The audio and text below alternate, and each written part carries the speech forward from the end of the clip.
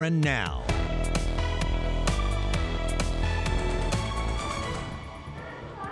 The Brier Tankard is here already, but the real guests of honor tonight are Team Gushue. We're live at Bally Haly for a tribute to the Brier and world champions of curling. It's total devastation for us. Millions of dollars worth of materials burn as a hardware store is destroyed in Happy Valley Goose Bay.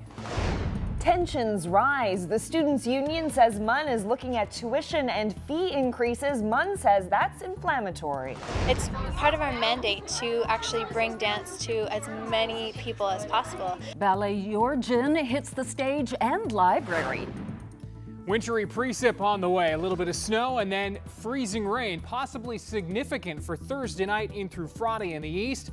Not a bad spring looking forecast the west into Labrador. The details are coming up. Well, there's a war of words tonight between MUN, the Students' Union, and the province. The union says MUN is looking at fee and tuition increases to deal with a cut to its budget. Here now's Peter Cowan takes a look at that. The province has made it clear to Memorial University that it better not raise tuition fees for Newfoundland and Labrador students. So instead, what the university is looking at is raising other fees. It's talking about a facilities fee to help pay for the buildings here and a student services fee. Let's take a look at just how much that's going to cost. Right now, tuition fees at Memorial University for an undergraduate student are about $2,500 a year. Add in the extra fees that are being proposed, and that cost goes up to more than $3,000. And for students who are from out of province, well, they're talking about an extra 16%. Overall, the Memorial University Students' Union says the end result is students could very well end up paying a lot more. It may not be under the title of tuition, but students are still being forced to pay extra money um, on top of what's already being paid out. So additional fees means new costs for students. So overall, it may not, it may have a different title, but students ultimately are going to be paying more money, which is something that we don't like to see. Right now, tuition fees at Memorial University are the lowest in the country. So how competitive would it be here if these increases go ahead?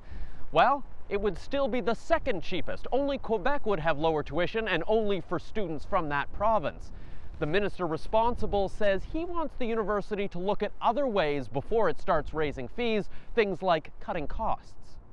I think we should get that off the table, that the university is starved of resources and has no other option except to increase fees, because I think there may be an alternative, which is lower expenses. No one from the university would do an interview today, but it says that the Students' Union putting this information out early is irresponsible. It says these are merely ideas the university is considering, and a final decision won't happen until the Board of Regents meets in May. Peter Cowan, CBC News, St. John's.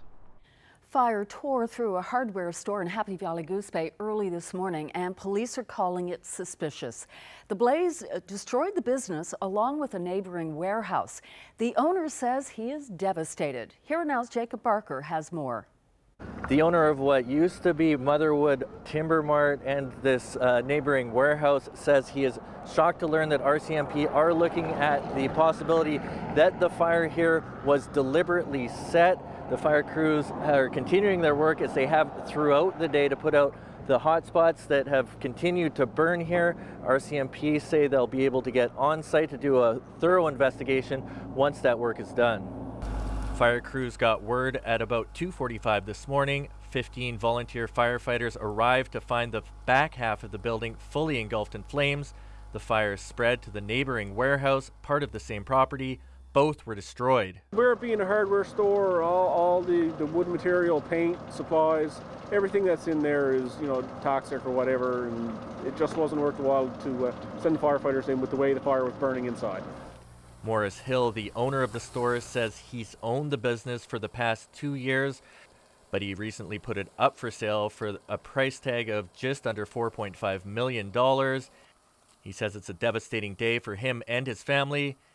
He says he was shocked at what he saw when he arrived at about 4 a.m. When we were driving up the road, we quickly realized the severity of it. And when we got on site, it's total devastation for us and our family, of course. In addition to losing the building, Hill estimates the contents were worth about $3 million. About 15 people worked at the shop and will be affected by this. Hill says he's in contact with insurance adjusters. how things go with insurance, whether we're, we're talking about rebuilding or we're just going to leave it. But I mean, it definitely was my intent to stay in the business for several years. So we'll see what happens in the future. Meanwhile, the RCMP investigation continues. They're asking anybody in the public with information about the fire to come forward. Jacob Barker, CBC News, Happy Valley Goose Bay. Police are looking to speak with anyone who may have witnessed a deadly highway crash near Holyrood. A young woman died last night after the SUV she was driving rolled over an embankment. It happened around 8.30 on a section of the Trans-Canada Highway just west of the Holyrood access road. The 25-year-old woman was the only person in the vehicle and police say she was from Paradise. There's an investigation underway tonight into why a heavy tube fell three meters on the Hibernia offshore platform, nearly killing someone. The board that oversees the offshore describes the incident this way. Four people were on the drill floor of the rig when a section of what's called completion tubing fell last Friday. The tube weighed 515 kilograms or nearly 1,200 pounds. No one was injured, but the board says the accident had the potential to be fatal. There's a search tonight for a man missing from Botwood. Terry Porter hasn't been seen since yesterday. He's 78 years old. Police say he was last seen around 7.15 last night driving a white Chevrolet Lumina in the Grand Falls and Botwood areas. Porter is 5 foot 9, thin with gray hair, and he uses crutches to help him walk.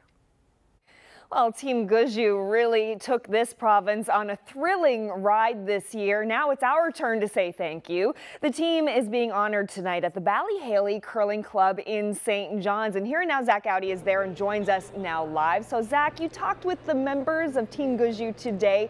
Have their feet even touched the ground since the, the competition? Well, just barely, Carolyn. Uh, they have not yet had the chance to truly savor all of this celebrating because they just uh, keep on curling. In fact, after their Brier win here in St. John's, and again after the World Championships in Edmonton, they had additional tournaments in which they competed. In fact, the team still has one last tournament to go before they can close the books on this historic season and yes, they are looking forward to that. Now, today I had the pleasure of interviewing the whole team. They said everywhere they go now, people are coming up to congratulate them, to tell them how much they've enjoyed watching them this season. And not just Brad Gushue and Mark Nichols, but also Brett Gallant and Jeff Walker. They too now must get used to being celebrities and sports heroes in this province. Now, for Brad Gushue and Mark Nichols, who have spent the better part of their lives chasing this dream, I asked them how it feels to finally be on top of the mountain. Well, Brad Gushue says it has not dulled his desire to keep on winning. In fact, he revealed what's next for Team Gushue. I've, I've re, I reevaluate my goals every year. Um, and for me, I want to get back to the Olympics now. So that's, uh, it's out there. Everybody knows. so that's the goal. Obviously, next year uh, we're in the Olympic trials, so so winning that would be would be nice. But even after that, I'm, I'm certain I'll go another cycle and, and give it another crack. And, and that's kind of the, the next goal on on my agenda. Um, I haven't really shared it with this guys until this, so so uh, yeah, so so we'll we'll have a discussion this week. But I, I'm I'm certain that's where these guys are as well. You heard it here first. First, folks, from the Brier to the World Championships and maybe right back to the Olympics. Stick around, there's much more of that interview still to come on Here and Now. And everyone's favorite curling correspondent, Devin Haru, will join me later in the show. Reporting live from Bally Haly, I'm Zach Goudie. The massive Hebron oil platform is scheduled to be towed out sometime next month, but nailing down the actual date or something close to it proved to be difficult yesterday during ceremonies marking the end of construction of the $14 billion structure. As Here Now Cec Haire reports, with the weather and now the ice off our shores, Mother Nature will ultimately have the final say. A clear weather window of opportunity is necessary for the tow out of the Hebron platform, but this white stuff behind me, ice, no doubt will be a factor in the equation. The 750,000 ton rig floats in Bull waiting for the big day. Powerful tugboats will tow it from Trinity Bay to the Jeanne d'Arc Basin and place it on the ocean floor. only 32 kilometers from Hibernia. During Tuesday's tour and christening, lots of numbers were tossed around. The rig's weight, the price tag, the amount of oil it can store. But one number was missing the actual date of the tow out. Only a month was given May. There's a lot of ocean to cover in a platform tow out. For Hibernia, the voyage was 500 kilometers. Good weather, storm free, is necessary. And then there's something other than the weather ice. And we've got lots of it this year, and icebergs too. Now they come and go with the wind. This image from the Canadian Coast Guard yesterday shows heavy ice in Conception Bay. Today, the ice has moved into the Narrows in St. John's. Then there are the bergs. Today's charts online show roughly 250 icebergs in a corridor between the east side of the Avalon and where the Hebron rig is going. Keep in mind, too, that bergs move, they vary in size, and not all of them are as big as the one off Ferryland last weekend. So, when will it happen? The real answer no matter how impressive this $14 billion engineering feat is, in the end, Mother Nature still calls the shots. And no one knows when she'll say, You're free to go. Cec Haire, CBC News, St. John's. And speaking of the offshore, where you find pack ice, you may also find seals. And as is the tradition, this is the time of year when some of them end up on the St. John's Harbor front. Sales are going really good. We started uh, Good Friday and uh, we've been selling out every day. Seal flippers may not be for everyone, but for those who enjoy a good feed, this is a real treat. For 25 years, Heidi Taylor has been selling flippers on Harbor Drive. It's a family tradition started by her grandfather and carried down through the generations. The CBC's Bruce Tilley spoke with some longtime customers about how they like to prepare this culinary delicacy. I put the flippers in soak overnight and put some baking soda on them, take them off in the morning, clean them, and put them in and let them boil for an hour, an hour and a half, two hours, and then put the vegetables in. I'm gonna cook them tomorrow. I got some friends coming in. I'm gonna cook up a dozen of them for sure. Cook them in the oven with a nice big side over the top. And we're gonna have a great feed. A few drinks, good party. I grew up in an outport where seal meat, you know, was fairly common in the spring. Since, uh, you know, becoming an adult, what have you, and living here in St. John's every year, I usually get a half dozen flippers, and my wife cooks them very, very well. Two at a time, you know, one in the fall, and then two more in the spring, and so on. Yep. You think you have potholes? After the break, travel the road that some people say is destroying their vehicles and their bodies. And later, we'll take you to Corner Brook for a look at children who are getting tips this week from some of the best ballet dancers.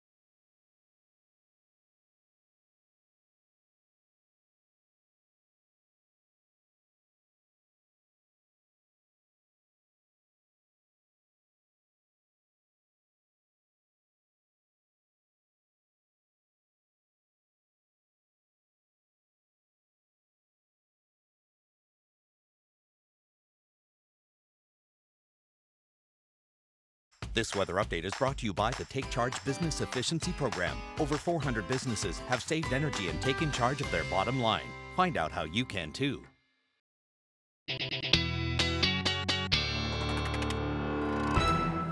About you, but out came the winter coat and Mhm. hat and everything today. Wow, And lots of cold. wind. I walked out of the front door and just gust blew dust into my face. Yeah, and it's not a nice wind. It's a No. northerly wind, which is raw, as you were alluding to there. Uh, winter coats, definitely, and that northerly wind not going anywhere. And the winds have been causing some issues, jamming harbors all over the province with ice. This was Wow. seen earlier today near Twillingate, according to Julie Gidge, whose stepfather is on one of those crab boats. They've been trying to get out since 11 a.m. this morning to leave to go and fish crab. Uh, not going anywhere right now.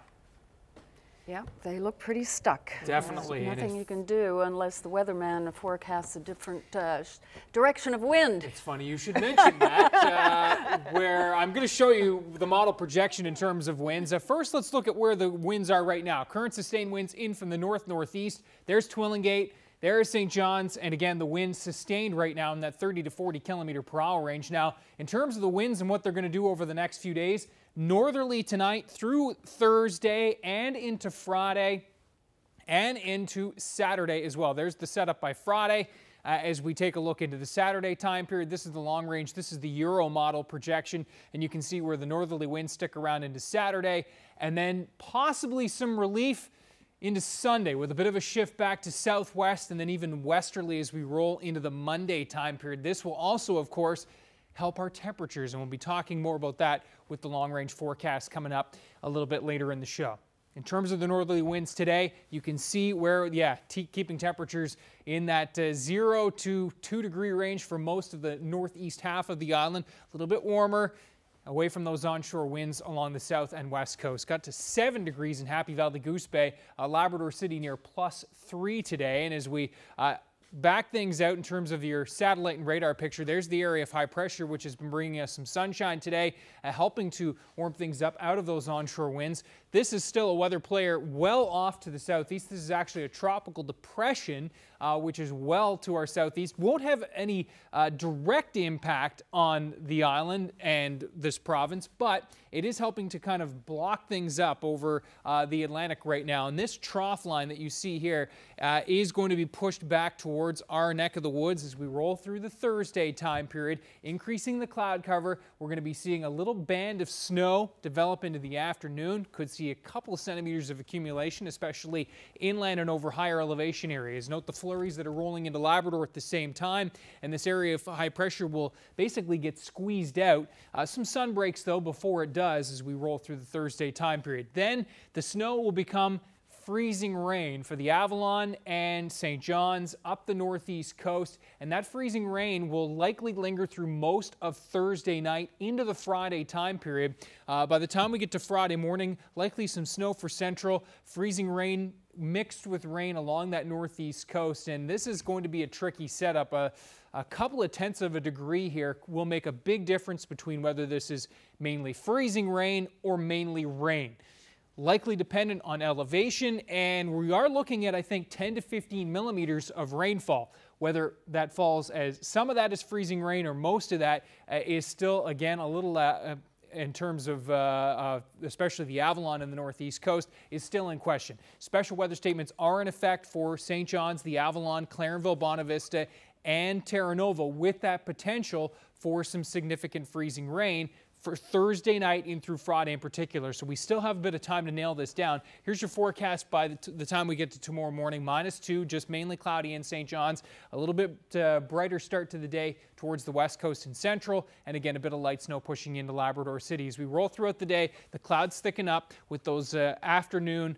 flurries and then some light snow, and then the freezing rain potential develops for Thursday night, uh, Thursday evening into the overnight. Building clouds through central tomorrow, temperatures as warm as 2 to as warm as 6 degrees along the south coast and west coast tomorrow across the island. And as we roll into Labrador, you can see where we're looking at some snow uh, building in to the west. Not a bad day with some sunshine in the southeast. Long range details are still ahead. Carolyn. Thanks, Ryan. Well, it's certainly not a smooth ride driving along the Trans Labrador Highway on the south coast of Labrador this time of year. As you can see, muddy conditions make it difficult to navigate and for some vehicles near impossible. And while work is slated for later this year, local people would like to see pavement down sooner rather than later. Here now's Jacob Barker tried his luck on this bumpy road.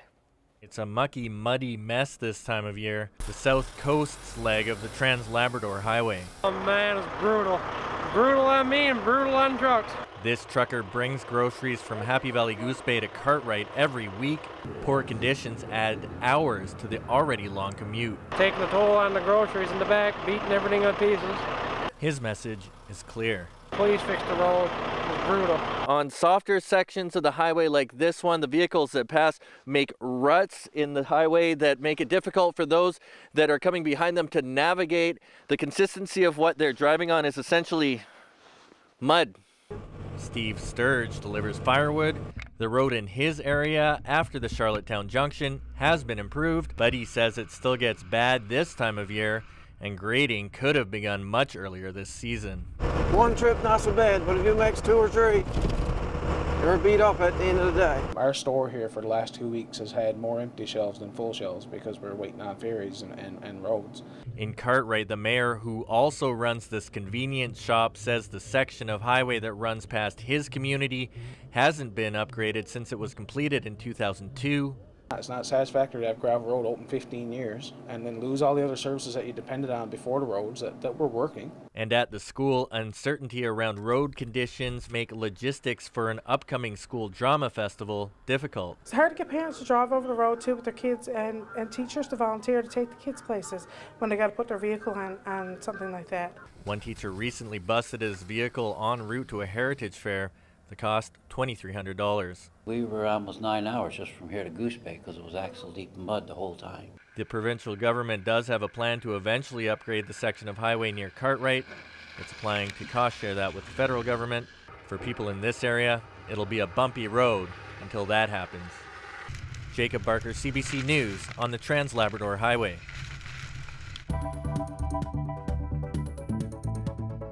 It's getting crowded here at Bally Haly as folks wait for their chance to pay tribute to Team Gushue and to get a picture with the Brier Tankard. More of my interview with the whole team coming right up after the break.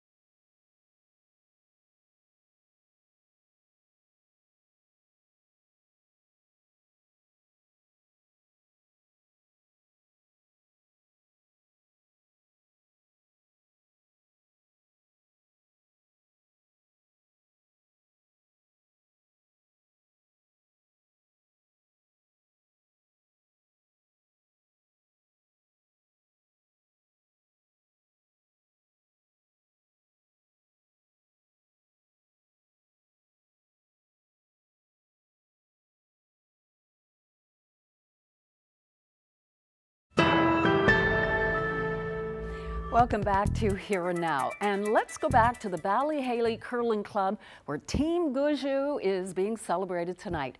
Historic wins at the Brier and the World Championships have put the team on top of the curling world. So where do they go from here?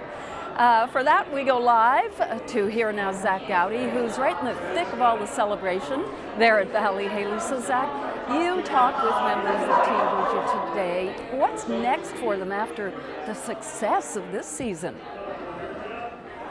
Well, Debbie, they told me that winning it all has only increased their desire to win again. In fact, earlier in the show, we heard Brad Gushue say he already has his eyes on another Olympic run. But either way, this is a moment for the whole team to savor. For Brett Gallant and Jeff Walker, it's the start of a new life as sports heroes and celebrities in this province. And for Gushue and Mark Nichols, who already know what that feels like, it's the culmination of a lifelong dream. Now, earlier today, Brad Gushue began our conversation by comparing the Brier and World Championship wins with that Olympic gold medal that they won back in 2006. I think when we came home from the Olympics, obviously our, our lives had changed. Um, that was that's the pinnacle of sports. This time around, it's, it's a little bit different because we actually didn't come home after winning the Worlds. We went to another event, so things have kind of kind of settled down, I guess, in that week. Uh, but still, we've been really busy with interviews and, and functions. We had a, an event at the St. John's Curling Club on Monday and at Bally Haly tonight. Um, so we've been busy, and and even around around town, even if I'm going to get gas or popping into a convenience store, people are, are thanking us and, and congratulating us. And there's a lot of people around here that know what we did and are aware of it, which is very similar to what it was in 2006. What does that feel like, uh, Brett, when you see this, the looks on people's faces every time you're getting gas and somebody else wants to come and congratulate you? Oh yeah, it's different for sure. You know, um, myself not being from here, not being part of the Olympic run. Um, you know, I, I could walk around town pretty easily, but now after this, uh, you know, people are always coming up congratulating us and, and, you know, just saying how proud they were to, to witness it and stuff like that. So it, it's really cool to be part of that now.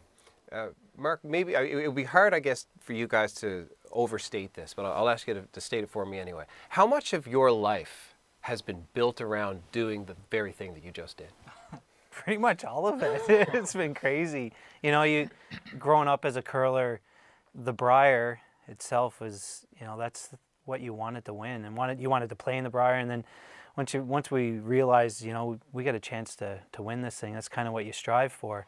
And like I said, we, we've been oh, oh so close a few times and just seems like uh, you know, the, the storybook wrote itself this time, you know, losing 12 months ago and really just kind of putting all our focus on that one event is uh, the, the way it happened uh, couldn't write it any better. What do you want the legacy of, of this year to be, of all that, that this team has achieved this year? If you, if you look down the road, I mean, what, what kind of lasting legacy, again, maybe even off the ice sheets, do you guys want to leave behind? Hmm. On the ice sheets, I, I, certainly hope it gets more young people involved with the sport, but uh, I don't think it has to be just curling. I think it can inspire uh, kids to get into all different sports. Um, and just to get the community to come together the way it did for the Brier as well. Like that was a that was so special. The way um, seemed like all of Newfoundland embraced our our one team for uh, you know the Brier week and then on to the Worlds and and even throughout our season. So just the way everybody came together, and if it can get more kids interested in sport, inspire them, I think that's uh, that's a great thing. And uh, to, on top of that, I, I'd like to see you know, kids and, and even adults across the, the province realize that, you know, just because we're from a small province doesn't, it mean, doesn't mean you can't be the best in the world. And uh, I know growing up in sports, when I played baseball and hockey, there was always this um, understanding or, or, belief that we weren't going to get to the top because we're from a small little place in the North Atlantic. Uh, but it, it, can happen, and, not just us, but you see what happened with Kaetlyn, Kaetlyn Osmond and, and Katrina Roxon and, and uh, you know, a lot of great athletes and teams in this province and what we've done. And I seen a tweet actually a couple days ago that we have the the national championships in golf, curling, uh, figure skating. Like it's incredible what we have here, and, and I think seeing all that success is going to help the, the youth going forward to believe they, they can do it. And, and once you have that belief, then you're going to put in the work and, and you can actually make it happen. Here at Bally Haly, the crowds keep pouring in, the bubbly is pouring up, and it should be a very memorable night. Now, perhaps the only person who enjoyed the success of Team Gushue as much as the members of Team Gushue is Devin Heroux, the CBC sports correspondent, covered the team every step of the way through the Brier win, through the World Championships in Edmonton. Now, Devin Heroux is here tonight as an honorary guest. He'll be my guest coming up on Here and Now. Reporting live from Bally Haly, I'm Zach Goudie. After the break, we'll hear more about the ruckus at Memorial University between administrators and the student union, and it has to do with the talk of a big tuition hike.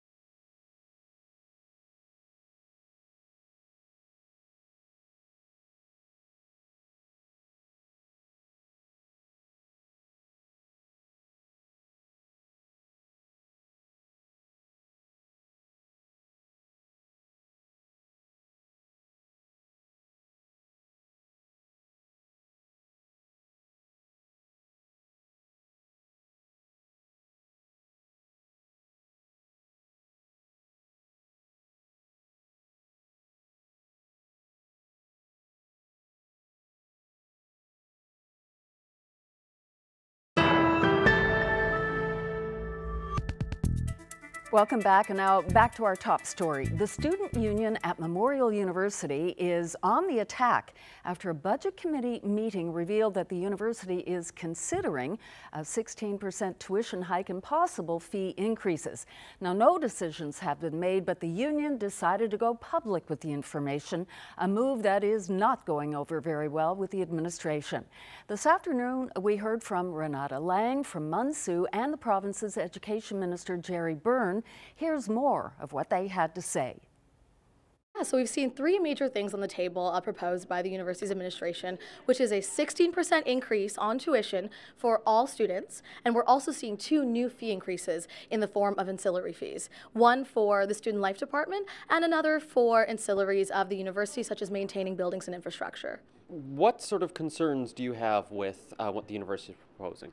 Yes, so our main concern is that they're proposing that the 16% tuition increase is going to target students who are not from Newfoundland and Labrador. So we're asking, what does that look like? Um, of course, because students who are currently here are residing in Newfoundland and Labrador. Many are from here and have moved away or returned. So we think it's going to be pretty hard for them to determine exactly who is going to take the hit of those cuts. And then, of course, it's the brand new fees that are going to be in place. One of them is per credit hours that you take. So students who are required to be full-time, such as international students, to be in the country will arguably already be having to pay more of an ancillary fee. Yeah, as you know, the province is facing a really dire fiscal state right now. We have the highest youth unemployment rate in the country, a huge gender wage gap, and students or young people are overwhelmingly um, have been leaving the province. So to reta retain students here, we need to maintain a freeze for everyone, especially to diversify the economy and to bring in new skill and talent to Newfoundland and Labrador. Those set fees will bring in more students. But even with the increases, the tuition fees here would still be the cheapest in the country unless you're from Quebec. So wouldn't that mean that Univers Memorial is still very competitive? Memorial is, of course, the leader, like you said, on the most affordable fees in the country, and we want to keep it that way because we want fees to be maintained frozen, to continue to have students stay here who are from Newfoundland, to continue to attract those who are from out of province, where it is skyrocketing everywhere else across the country. We're dealing with a hypothetical question right now because, of course, Memorial University and its Board of Regents have not met. These, uh, the information supplied by the Memorial University of Newfoundland Student Union is information that even I have not seen. So uh, what I do understand is that the Board of Regents will be meeting sometime in May with, uh, to make final decisions on their future administrative plans as well as their overall budgets. So at this point in time, I can't really comment on whether or not there's a, a, fee increase, or for that matter, a tuition increase in, in Site for But what I can say is this, is that there are two revenue items from students at MUN. One is a tuition, uh, a, a tuition rate. The other, and this has been the case for years, there have been fees that have been charged. Athletic fees, um, Memorial University of Newfoundland Student Union fees, for example. The student union itself has been collecting fees from the students for a number of years, and an interesting component of that is that those fees, at the request of the student union, have been increasing for the last number of years. So tuition and fees are not one and the same. The bottom line here is we have to start with a, you know, with a question, which is, is the university being starved of resources? Well, and you know, some would say that because the tuition is so low, which it is, that the university is being starved for resources. I have to come back to the clear point, which is at $371 million in taxpayer provided assistance, it is difficult to make the argument that the university is being starved of resources. Again, we provide more money to MUN than the government of the people of Nova Scotia provide to 10 of its universities with three times the student population. So uh, I think we should get that off the table, that the university is starved of resources and has no other option except to increase fees, because I think there may be an alternative, which is lower expenses. MUN officials are not answering questions about this today. Instead, they released a statement. Yes, and in it, uh, MUN acting president Noreen Golfman called the comments from MUNSU inflammatory, and she writes that the ideas put forward were not proposals. She says all budget options are up for discussion. Golfman also says all the information will be shared and discussed at the Senate meeting on April 24th.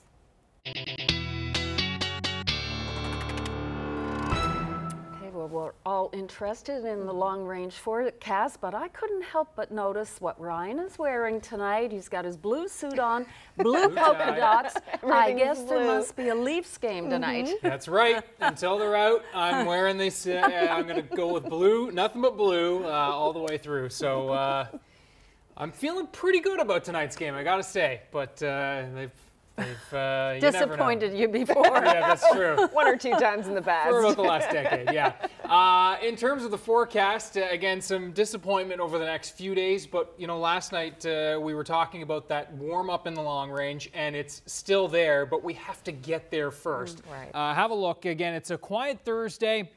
Still that relentless northerly wind across the Avalon in the east. Wintry mix arrives for Thursday afternoon, especially Thursday night into Friday. And again, it's some baby steps in the long range. Having said all this, uh, not a bad looking long range for the west and even into Labrador.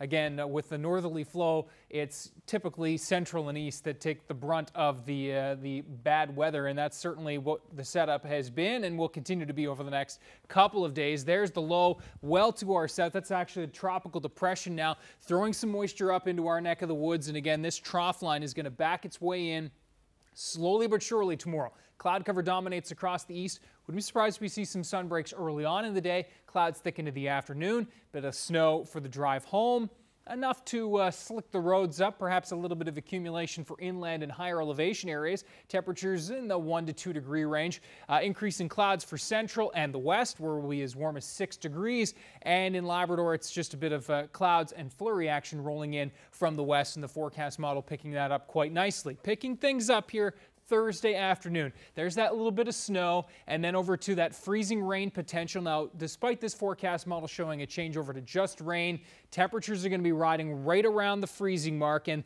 the potential for freezing rain continues Thursday night and into Friday morning for the Avalon, the Northeast, and uh, up that uh, in the central parts of Newfoundland, it will indeed likely be just some snowfall there that clears out through Friday. And that rain and freezing rain potential continues into Friday across the Avalon and the northeast coast. This is where Environment Canada has issued special weather statements. Again, a degree difference will make a big difference in terms of how much ice accretion and buildup we see.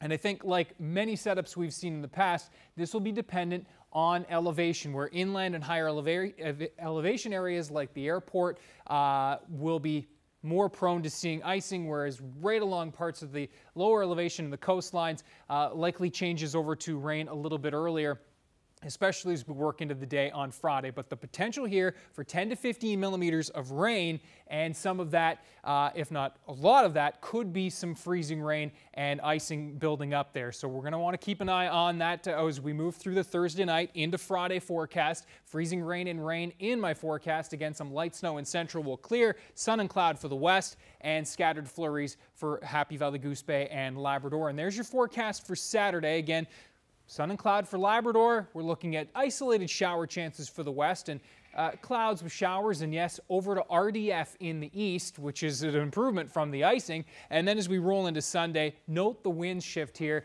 Uh, five, six degrees as temperatures start to rise. And yes, that's some good news as we roll into that seven day trend, which does show some relief and a little more in the way of some sunshine uh, for Monday, Tuesday into Wednesday, which is some good news there. We'll Keep our fingers crossed that that holds. And into Labrador again, not a bad looking weekend on the way there. Wow, this little dancer is six-year-old Bridget Little from St. John's. Bridget loves learning new routines and performing with Revolution's Dance in Mount Pearl. Oh, she also enjoys soccer, skating, swimming, reading, and going to school. Way to go, Bridget. You're today's Young Athlete of the Day. Professional ballet troupe is taking its show across the province. After the break, we'll meet some of the young children who are getting to experience the dance up close. Well, look who's back. Devin Heroux, good to see you on the Rock again. It's great to be here. It's always a good day for curling. Take a look at that beautiful trophy in the house here tonight, Zach. In the house. Devin Heroux in the house with me right after the break.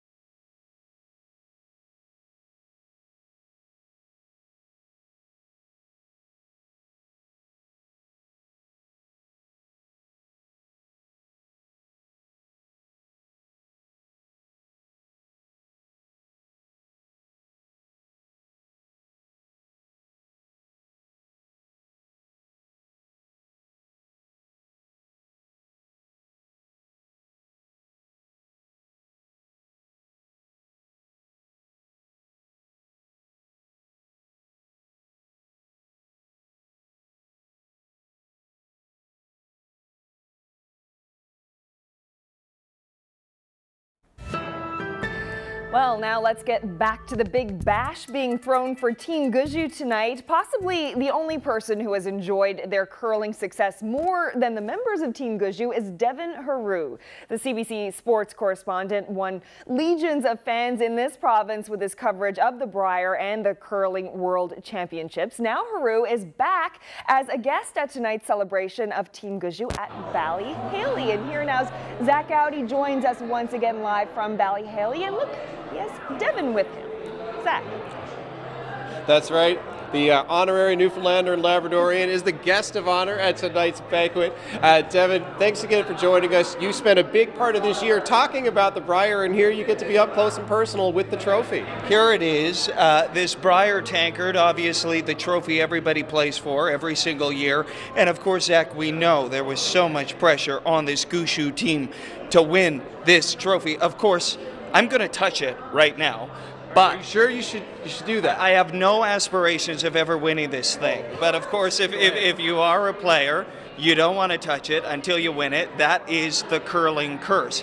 But let's get in tight here. I think we can get this shot, Zach.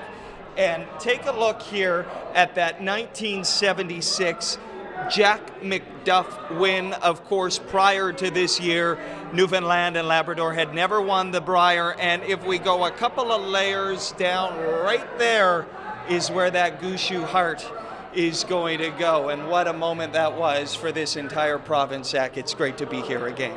Dan, it's so great to have you. It was so great to have you during the coverage. You know, you talked a lot about uh, the pressure that the Gushue team were under, but did you start to feel some of that pressure yourself as suddenly you were the guy at the center of the coverage, what at the center of what you must have sensed was suddenly the biggest story in this part of the world? It was the biggest story, and it should have been the biggest story. And I've got to tell you, of course, we bring a level of objectivity to the table when we do this. But I, uh, but let me tell you, Zach, when we're there and I'm watching that final shot, and I had the best seat in the house because I was right behind the sheet, and you see Mark Nichols run out of the hack.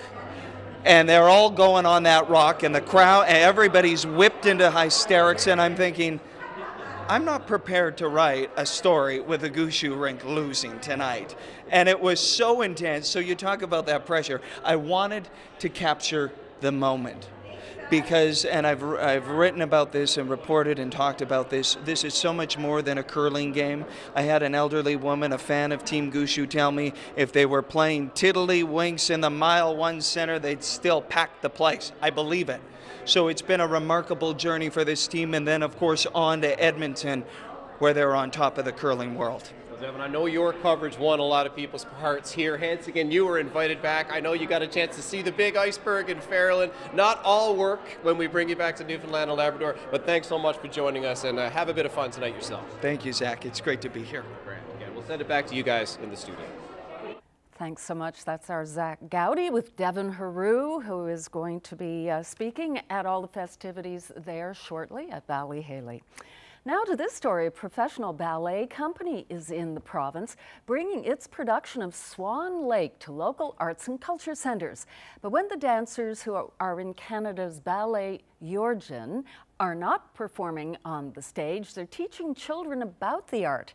Here now's Colleen Connors went to the Corner Brook Public Library, where students were trading books for tutus.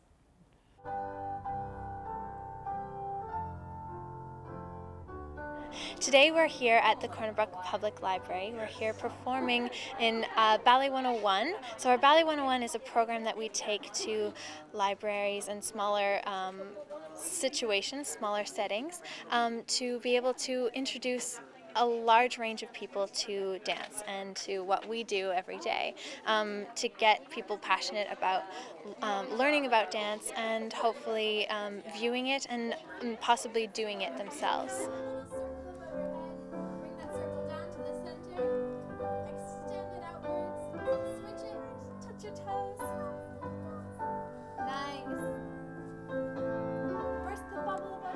Show me that again? How does it work? In a minute, you got it. Nice. The alleged uh, cheater shoe. Okay. which I don't agree with. Oh, how graceful. That's beautiful. And tell me about what's in your hair today. Um, a tiara. And how come you're wearing a tiara? Because I got a ballerina bun. Oh, ballerina bun. Is that what that is? Yeah. Oh, it's very pretty. What did you think of the ballerinas today? They're beautiful. Did you watch them dance? Yep. Yeah? Yeah.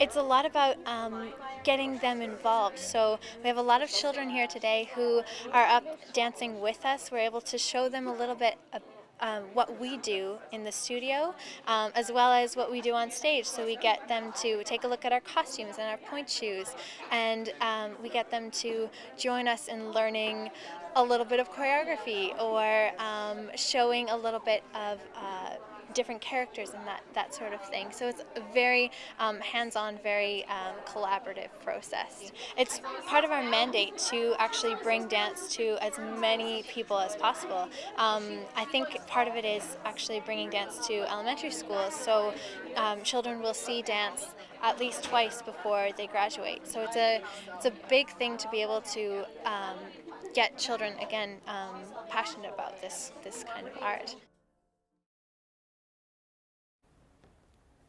A Nova Scotia man says he's not giving up his fight for a full refund on his all-inclusive Sunwing vacation in Cuba. He says he stayed at a resort for nearly a week with his girlfriend and his daughter without running water.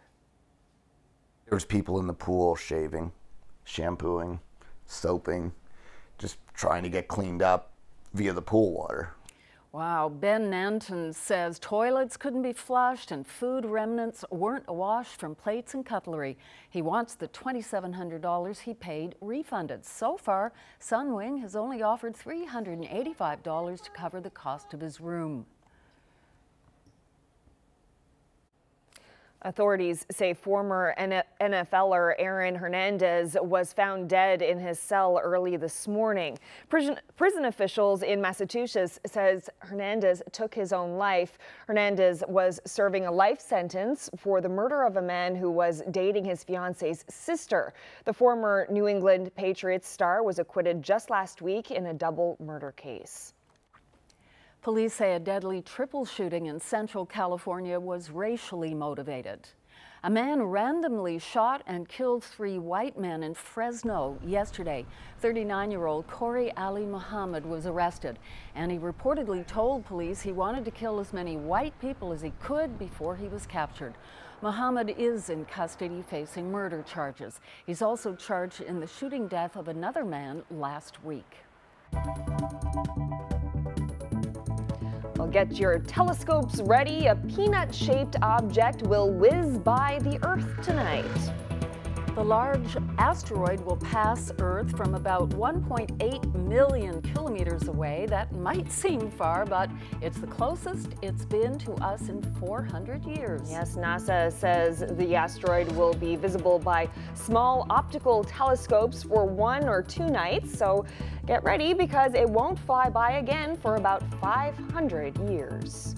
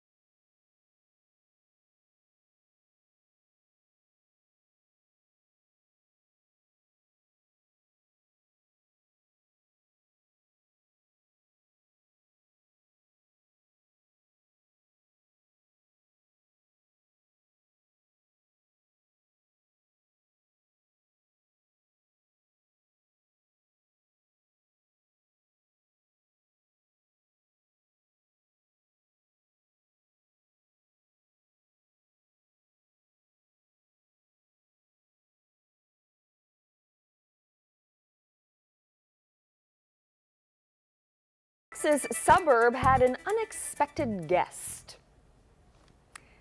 Yes, it's a 10 foot long alligator and it stopped, uh, it's just there, there it is, you can see it opening its. Oh. Oh, yep, can't miss it there. yes, uh, it stopped to hang out on someone's front porch. Oh, porch. wow. The The, ga-. The gator came uh, by after a night of rainfall. Residents called animal control to collect the 200 pound critter, but uh, it didn't go down without a fight. Eventually, the game wardens did round it up. Yep, no problems with that. And uh, then residents could finally say, Oh. see you later, alligator. What's the other part of that in a wild crocodile? After a Uh, wild crocodile. wow, that would be uh, surprise walking out your front step. yeah, definitely. Uh, alligators there. We got to deal with polar bears here, of Oh. course. So uh, uh, different worlds, right? Uh, have a look uh, in terms of where temperatures are right now uh, for the forecast tomorrow. That is uh, just two on the plus side. Again, some building clouds, a bit of some afternoon snow building into St. John's. It's tomorrow night. And in through the Friday time period, we'll have to deal with some uh, snow, ice, and freezing rain. We'll uh, again remind you of that special weather statement in effect. Oh, I misunderstood you. I thought we were going to see a polar bear. No, no, no, I don't have any polar bear But they're I'm out there. There have been lots of them spotted. Thanks for being with us, everyone. See you later, night. alligator. everyone.